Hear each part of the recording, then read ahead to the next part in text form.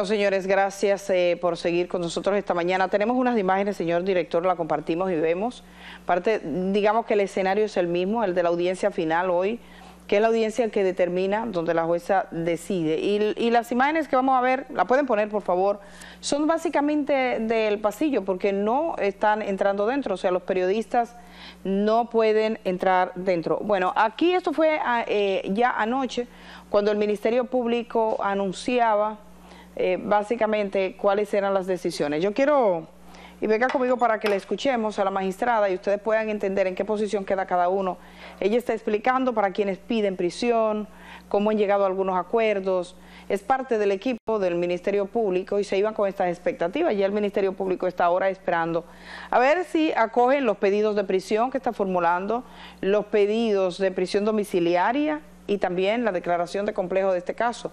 No hay dudas que será complejo, porque es un caso que tiene demasiadas, eh, digamos, que demasiados elementos, eh, muchas aristas, muchas eh, vías de investigación. Están las expropiaciones, está el tema de la lotería, están los retiros de dinero, lo que involucra, la multiplicidad de los acusados, de las instituciones involucradas, los procedimientos administrativos que fueran posibles para que a este país eh, se le defraudara por unos 19 mil millones de pesos. Casi es lo que dice el Ministerio Público. Hay 13 mil millones que no se llegaron a pagar, que eran a expropiaciones, eran a herederos de tierras, por ejemplo, que ellos determinaban que había una tierra que el Estado había expropiado, decían, tenemos que pagar, y por supuesto el negocio era 40 para ustedes, 60 para nosotros. La ley del embudo aplicaron ahí.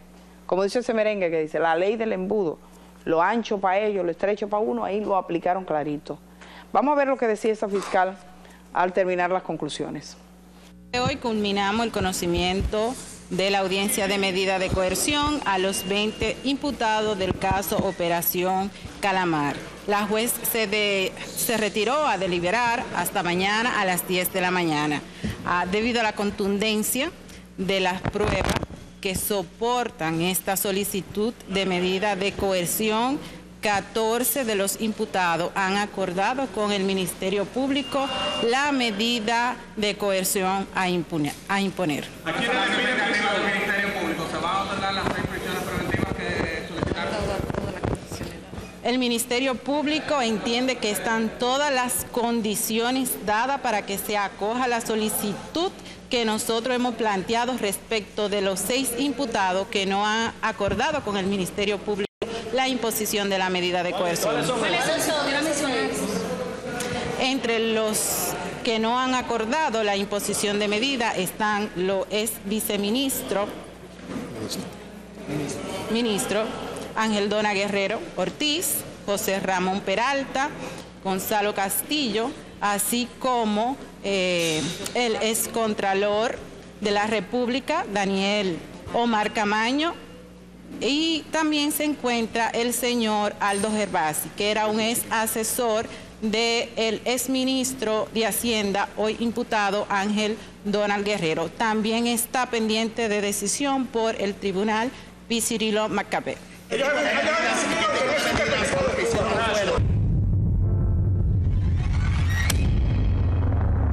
Bueno, contra estas personas están pidiendo prisión, son los más altos cargos, los otros están dando testimonio, hay mucha documentación, transacciones. Sin embargo, eh, se produjeron algunas valoraciones. Por ejemplo, Gonzalo Castillo.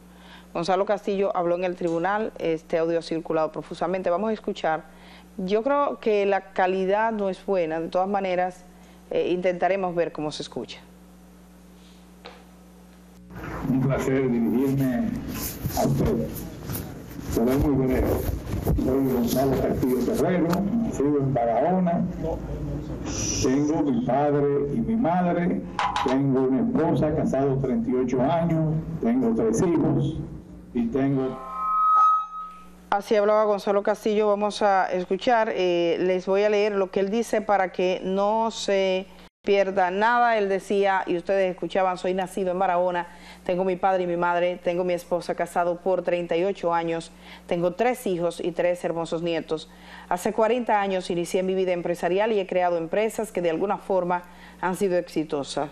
Y digo exitosa porque, y digo exitosa porque eh, tengo crédito en la banca, en el sector financiero, por, más de 5 mil millones de pesos. Y para que los bancos, para que el sistema financiero dominicano me preste tanto dinero, debo tener empresas productivas que puedan pagar los intereses y la devolución de capital. Y con una deuda tan grande tengo que estar sometido obligatoriamente a auditorías muy superior a nivel de los bancos, en los tres niveles, normal, superior y exterior, que es el más alto con una firma de auditores externos. Durante mi desarrollo empresarial también he tenido desarrollo de una vida política dentro del Partido de la Liberación Dominicana.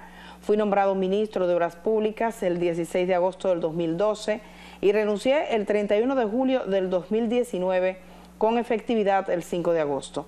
Para tratar de buscar una candidatura presidencial, porque era precandidato, el 6 de octubre gané las primarias y me convertí en el candidato presidencial del Partido de la Liberación Dominicana. A raíz de que perdí las elecciones y por vocación democrática, con el 62% de los votos contados, reconocí una tendencia eh, y hablé públicamente, irreversible, y hablé públicamente ante la prensa y reconocí la victoria del actual presidente de la República y pedí que Dios le guiara para que el pueblo dominicano pudiera seguir los senderos de bienestar que venía consiguiendo dentro de la gestión del Partido de la Liberación Dominicana, donde el pueblo alcanzó niveles de bienestar muy positivos, dice Gonzalo. A partir de ahí, ese 5 de julio, a partir de ese 5 de julio que perdí las elecciones, ataques despiadados contra mí iniciaron de inmediato.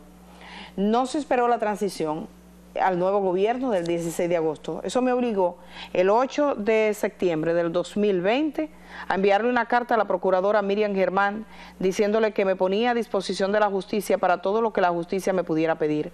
Y desde entonces he estado sometido a ese ataque y a veces me da temor entrar en la computadora y buscar algún tema de interés.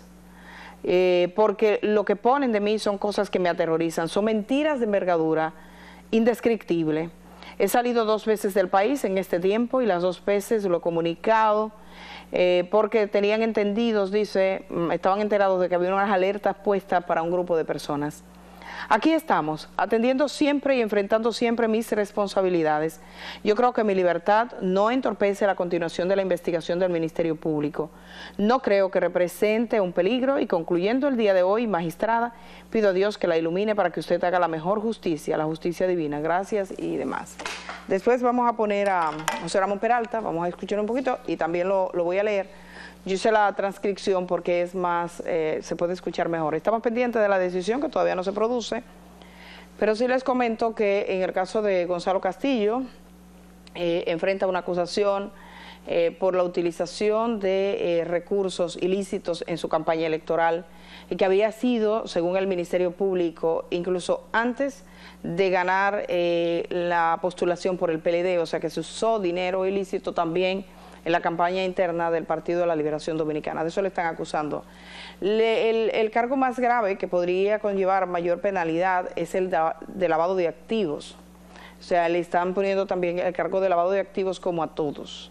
En el caso de José Ramón Peralta, él en su exposición se concentró en decir, bueno, contra mí no hay ninguna prueba, no hay un papelito, no hay nada. De hecho, ustedes van a escuchar un poquitito y también les voy a leer lo que decía el ex ministro de la presidencia, José Ramón Peralta, que también fue arrestado en una investigación donde no se supo tanto antes que él estaba involucrado, porque ya se tenía una, idea de que al menos eh, Donald Guerrero sí estaba siendo investigado y con todo lo que decía Ángel Locuar y las mismas citaciones que fueron de público conocimiento hace ya más de un año, casi dos años. De hecho, Donald Guerrero cuando habló dijo que tenía dos años y cuatro meses en una incertidumbre y que quería ya que esto pasara. O sea, que tenía eh, deseos de que llegara el momento de ir ante el juez a dar las explicaciones porque era una gran incertidumbre sobre su vida. Eh, veamos un poquito, eh, José Ramón Peralta, cómo cerraba ayer. Ayer era esa conclusión y son los elementos que la magistrada tiene que tomar en cuenta después de días de debate, de escuchar a las personas, unos diálogos que nosotros no escuchamos porque era a puerta cerrada, es decir, que el dominio que tenemos de lo que ahí ocurrió es muy parcial. A veces con algunos de los abogados que son de las partes o que sigues un poquito allí, un poquito acá pero lo que nos dirá plenamente lo que ocurrió allá será la apreciación de la jueza y el dictamen que se haga. Conocíamos más profundamente la solicitud de medida de coerción, más de 2.000 páginas por parte del Ministerio Público, pero digamos que esa es una mirada de solo una parte. lo que dijeron los, eh, las personas imputadas y sobre todo también lo que dijeron aquellos que pasaron a ser delatores, un grupo importante, 14, pasaron a ser delatores, llegaron a acuerdos para denunciar los actos, señalan a Gonzalo Castillo, incluso el mismo Ángel Locuar que originalmente lo había negado y más bien señalaba al Partido Revolucionario Moderno, a quien dice dio 14 millones, eso no se profundizó, pero sí eh, la parte, él reconoció y dijo en el tribunal que los dineros que manejó, que se manejaban en las expropiaciones y todo ese dinero en efectivo, ese caudal de dinero, que de un solo chofer llegó a hacer operaciones por hasta 6 mil millones de pesos, tenían como fin la campaña política. Entonces, eh, en, lo que respecta al exministro administrativo eh, Peralta, veamos un poquito de lo que él dijo y comienzo de una vez a acompañarle en la transcripción que he hecho, porque el audio tiene ciertas dificultades o falla de origen, porque digamos que no ha instalado un sistema, por supuesto.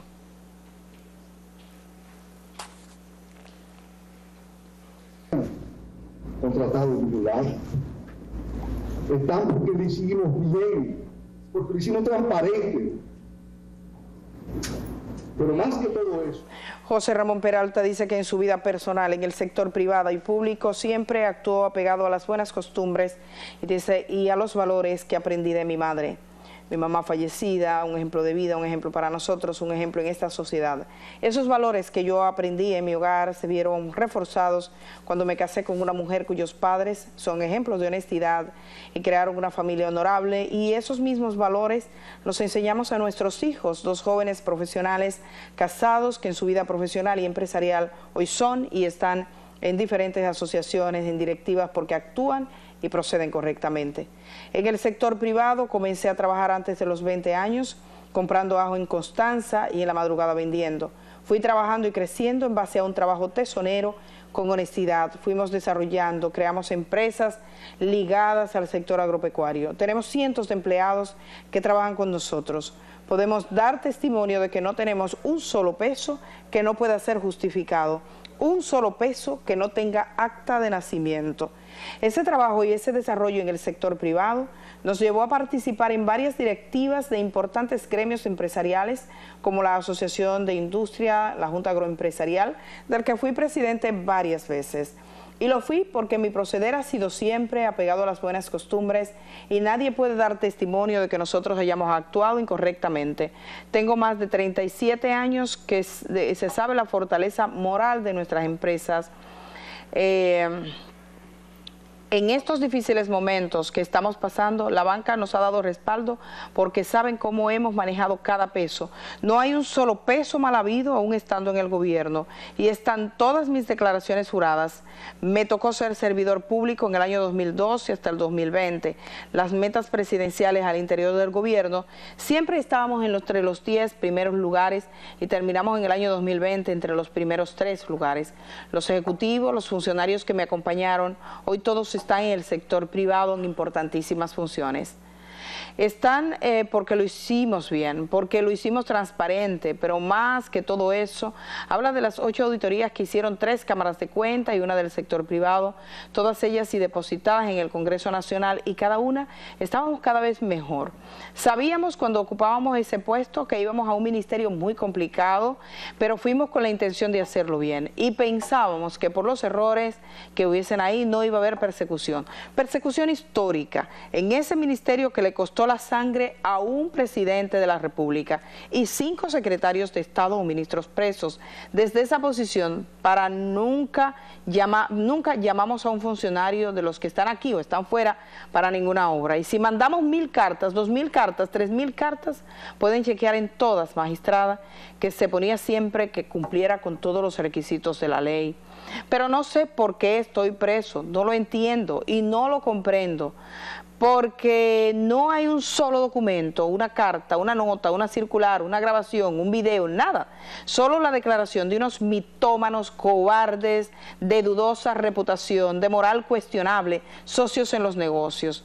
En una audiencia se me entregó el voluminoso expediente del Ministerio Público, lo leímos, lo volvimos a leer y no vimos ningún documento, ninguna circular, nada, ninguna prueba fehaciente que nos imputara, solo la declaración de esos mentirosos cobardes Sé, eh, lo sabía desde antes de como que como servidor público tengo que rendir cuentas. He estado, estoy y estaré siempre disponible para rendir cuentas. Es mi obligación y lo sabía y en este proceso estaré siempre disponible y en este proceso magistrada estaré dispuesto a comparecer donde se me indique, cuando se me indique y en el momento que se me indique para cualquier requerimiento de la justicia. Pero sobre todo, yo soy el más interesado para demostrar mi inocencia y en eso no dejaré de luchar hasta el último momento de mi vida por restablecer mi honor y mi buen nombre. Eso es José Ramón Peralta, que está citado por varios de los testigos, empresarios que aunque no eran parte del Estado, hicieron negocios millonarios con el Estado. El señor Francisco Pagán, que fue director de la OISOE, lo citaba como uno de los que estaba en la reunión presuntamente con Danilo Medina, donde dijo, busquen dinero de donde sea para la campaña electoral. Después se lo citan, incluso eh, Pagan dice que le entregó 50 millones de pesos en sus manos, dándole dinero, o en diferentes reuniones, él niega todo eso. Eh, Pagán tiene una situación que fue el allanamiento, en el allanamiento le ocuparon el perfil de una jueza, la jueza Clara Luz Almonte, que en ese momento le investigaba por otros casos que no tienen que ver con esto. Eh, al parecer le había mandado a investigar por el J2, que es un órgano de inteligencia militar, y también le encontraron un documento de la Superintendencia de Valores que había requerido los movimientos de sus cuentas y demás datos por parte del PETCA. Era un documento que en sí mismo debía, decía confidencial y que nunca debió salir del rango de la autoridad y lo encontraron en su casa. Eso podría, desde cierto punto de vista, complicar un poco su situación, pero habrá que ver que tome en cuenta la magistrada. Estamos atentos y tengo conexión ahora en un momento a ver cómo vamos, porque bueno, era a las 10 de la mañana y eso como que, ustedes saben, se pone un poquito más lento. Yo haré una pausa y regreso de una vez. Seguimos dando continuidad a este proceso que es de expectativa esta mañana y desde que estén los primeros datos, aquí se los damos.